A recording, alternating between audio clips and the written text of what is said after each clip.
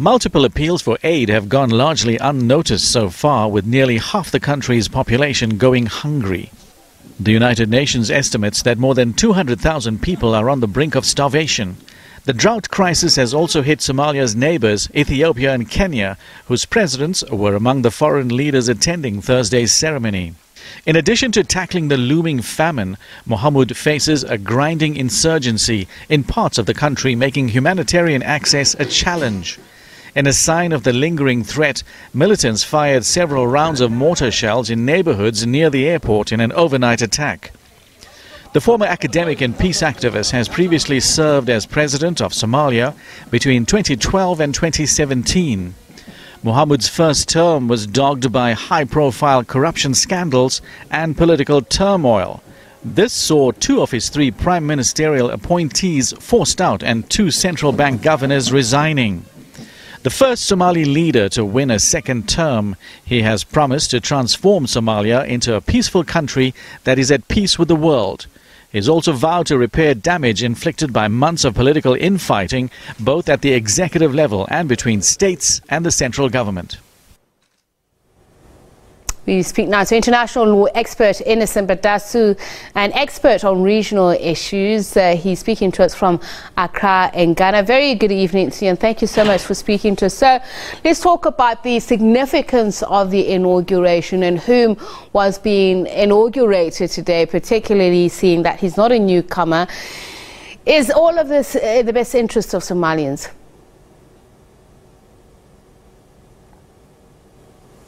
Please unmute yourself, Innocent.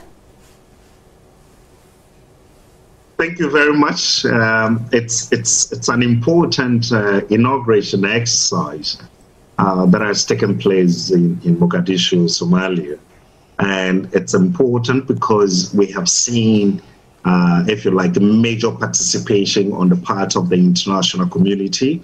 Uh, some other regional leaders, as you have mentioned, we're talking about Kenya, we're talking about Ethiopia and, and Egypt and, and some other um, foreign countries who have asked the ambassadors to represent them.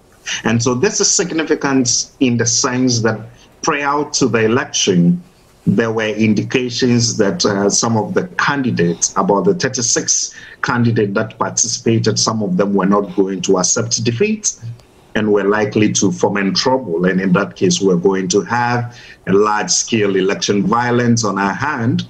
But here we are, at least uh, within the context of the precarious security situation in, in, in the capital city, we have been able to swear in a new president, which means that governmental authority has been conferred on him and would begin to see him take some uh, serious decisions as a way of uh, uh, peace building and also state building processes that are much needed. Mm. I mean, if we look at the security ahead of uh, the inauguration, it was beefed up, but we know that uh, Mogadishu often falls prey to attacks when one least expects it. I mean, the security situation um, uh, for the new office bearers, just going forward, can it be guaranteed? Um, is he, and also being familiar with some of these issues, being the first uh, uh, to get a second term? Yes, uh, I think that the new president um, is very much aware about the nature of the security situation. Uh, he must be confronted immediately with an agenda to embark on security sector reform I think it's an integral part of his priorities that he must deliver in the days to come. Uh, but even prior to the election, we have picked up intelligence that there were two, at least two recorded assassination attempts, uh, except that it didn't happen. Um, today, we are told that there were still some attacks in the capital, uh, which means that Al Shabaab is still uh, very much in, in, in control of, of its territory and continue to undermine uh, state security in the capital. And so I do not think that there is the immediately there is this um, security capacity to be able to deal with the challenges. It will require a lot of uh, domestic uh, decisions to be made. It would also require international partners, uh, other countries in the region, and then other interested bilateral donors coming together to be able to deal with the challenge. The continuous attacks are indication that um, the new government is not safe. Uh, they will still continue to face significant challenges from the, the kinds of security situation that we have at hand. So uh, the fact that we have an inauguration does not necessarily mean that all is well in terms of security. We would require some days to see how Al Shabaab would be confronted by the new government and what would be their response as well. And so we wait to see whether there will be a marriage of convenience between the new government or Al Shabaab, or we'll see um, relations deteriorating or a very hostile or confrontational approach on the part of the new government and its security apparatus. What President Mohamud is promising to achieve that, secure, I mean, uh, stability, particularly security stability, he says uh, it will be through consultation, mutual endorsement. I mean, how would he go about that? I'm just looking at his history. Um, uh, there was quite a, a great deal of uh, turbulence during his term, including. Um, you know, two central bank governors who resigned, uh, three prime ministerial appointees who were forced out. Some would say that is not indicative of somebody who can live up to that. Yes, uh, when you look at his records when he was president 2012 till 2017, of course, we've seen all manner of scandals. We've seen uh, internal uh, disunity within his political circles, as you have recounted some of them. I would want to give him some credit at the moment because at the time he became president, he was politically inexperienced. It's important to indicate that possibly he is returning as a new mm. man and his understanding of the situation would be completely different. He has a better appreciation having been in government and being in opposition. And so his decision making may be completely different. And so we need to give him some benefit of the doubt. Going forward, to talk about political stability or national reconciliation, that is obviously a very big project that I do not think that the current president can achieve within the four-year mandate that he has. It would be a work in progress that possibly may outlive his, his, his presidency.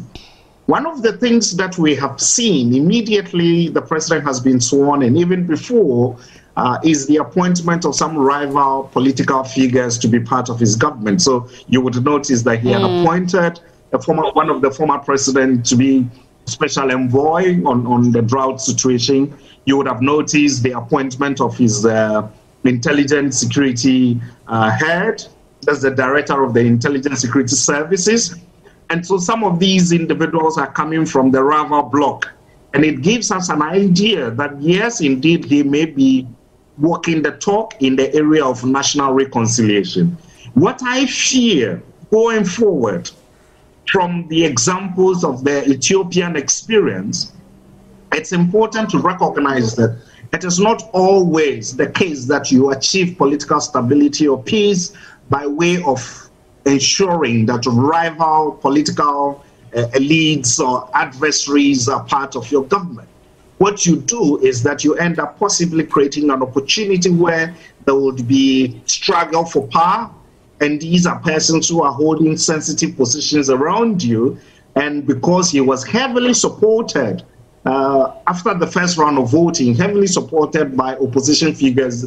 These are persons who obviously would want power to further their own political interest or their own material interest. So, in the days ahead, I expect that if nothing significant is done, we may begin to see some kind of regrouping within the president's circles, and some of them could begin to undermine his authority, taking into account that, of course, you have a clan power sharing system in Somalia where the, the, the, the various uh, state governments and leaders are basically hoping that their support for federal leaders would be an opportunity for them to have access to state resources. So expectations are high at the moment it does appear that the president is willing to continue to dish out from the favor basket, the political favor basket, to ensure that some factions within uh, Somalia are satisfied politically in order to ensure that he would have uh, political stability.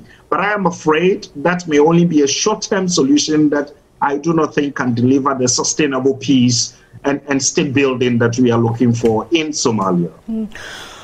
Um, obviously, of uh, immediate danger as well. We mentioned that in the introduction is uh, the fear of famine, of starvation. He's appealed uh, to international aid partners uh, to assist, but he also says that he's going to establish uh, a dep- Department of Environmental Affairs to um, deal with this issue.